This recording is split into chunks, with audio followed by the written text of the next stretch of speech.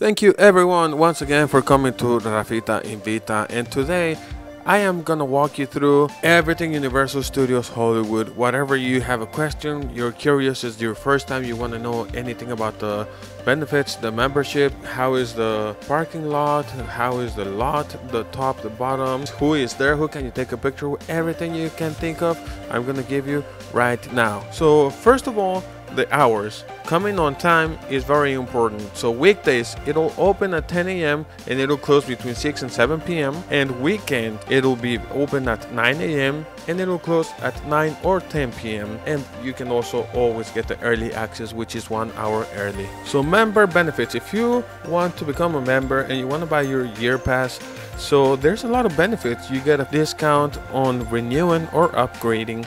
There's discounts when you buy your passes online for your friends or family. You can buy online for another discount. They have different plans, which are the Platinum, Gold, Silver, and the California Neighbor. Now they have availability for the Flex Pay. They do have blackouts for most of them, except for the Platinum. There's discounts on food, drinks, and merchandise. There's the Express after 3 p.m. for the Platinum only, and also that one gives you the Horror Nights Pass, like one of them. You also get parking, so you have to pay parking for every time you come. You get uh, special events and then discount at participating City Walk locations. Oh yes, and if you have a smartphone, which I mean we all do by now, please get the app. It'll help you so much. With the app, you can get tickets, you can see the Super Nintendo World app, you can see the wait times for all the rides, you can see all the dining available, the virtual lines, the map, and a lot more things. So please go ahead and do yourself a favor getting the app. And the virtual line venues that are included in the app are the Secret, Life of Pets, and the Super Nintendo World. Okay, now the things that you can and you cannot bring. There's a lot of things they allow you and they can't when you're going to the park, there's a long line and there's the metal detectors and they'll check your backpack. So food, yes, you can bring your own food and drinks. Yes, but no glass containers. No glass bottles, nothing glass. Ziploc bags, yes, you can bring them with your snacks, with your protein bars, snacks, your granola bars. Uh, you can bring bags of chips cookies, and candies. You can also bring water bottles, the plastic water bottles. You can also bring your refillable water bottles. There's a lot of stations where you can refill them, which are next to the Water World, then Secret Life of Pets, another one by the Minions line, also by the Simpsons restroom, another one near the Super Nintendo World exit, and the last one at the Jurassic parking. Your cameras, any recording device, you can bring it, but I don't think you're allowed to bring selfie sticks because I've seen people being told they cannot use them inside. And for those of you who have kids, you can bring your strollers. Yes, you can. Also, you can rent them or if you have big backpacks you can rent the lockers. They're all by the main entrance. Okay so now the park is divided in the upper lot and the lower lot. In the upper lot you will find the secret life of pets Despicable Me, Super Silly Fun Land, Kung Fu Panda Adventures, Harry Potter and the Forbidden Journey, which is part of the whole Harry Potter world they have, The Flight of the Hippogriff, and Ollivanders. Also, you're gonna find the Simpsons ride and the Simpsons world. On the lower side, you will find the studio tour and on the other side of the lower lot, there's gonna be the Revenge of the Mummy, the Jurassic World, Dino Play, the Super Nintendo World, which is where you find the Mario Kart and the Transformers. Alright, so for the meet and greet, there's a lot of people you can meet, a lot of characters. You will find Hello Kitty, all the Simpsons characters, the dinosaurs from Jurassic World, Transformers, Marilyn Monroe, the Donkey, Shrek and Fiona, Trolls, the Grinch, he will be there for Grinchmas only. Uh, King Julien from Madagascar, the Mummy, sometimes there's a Mummy, Scooby-Doo and the whole band, uh, Beetlejuice, Dracula, and Frankenstein's Monster and the Bride. Alright, if you are anything like me, you will want to eat here. I eat here everywhere. Here's my link to my other video so you can go check it out. Maybe you don't want to carry any food with you, so let me get started.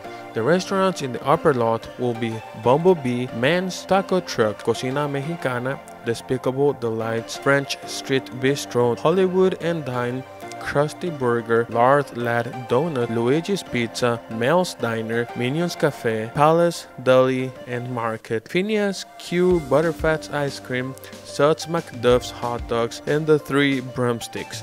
Now, in the lower lot, you will find Jurassic Cafe, Mummy Eats, Panda Express, Studio Cafe, Studio Scoop, Super Nintendo World, which there you'll find the Toadstool Cafe. For that, you will need a reservation. Alright guys, so if you have kids, one thing is that they're gonna have is fun they're gonna enjoy it don't worry about it uh, if you have a kid who cannot ride any of the rides and you are with another adult you can do the child swap at the end of the line and one of them stays in the room. There's a lot of activities they can enjoy which are water world the simpsons dino play kung fu panda the tram despicable me transformers super silly funland pets life the minions water play for that, you actually have to wear shoes all the time. There's the running, and there is a restroom where you can change clothes. Okay, now Waterworld, really cool live action show. I love it. I have seen it hundreds of times. If it's your first or the hundredth, you will love it. By the way, if you sit on a green seat in the bleachers, you are going to get wet, believe me. The show is about 25 to 30 minutes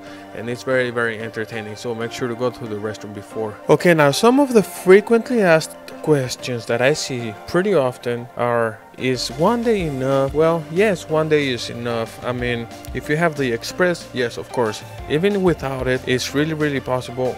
You have to get there early, and you can even get the one hour early, which is uh, $20. You get a whole extra hour. You get out of uh, Super Nintendo World very fast, very easy. Uh, the Express Pass, by the way, it lets you skip the lines once per ride. But if you have the Unlimited Express, you can skip as many times as you want. Parking, it's $30 and up. If you have a pass, if you decide to go ahead and get the year pass, you will get free parking with the platinum and the gold pass. Another question I see is can I leave and come back on the same day? Yes, you can. You can get a stamp on your arm and you can go to the car or you can go eat at one of the restaurants outside.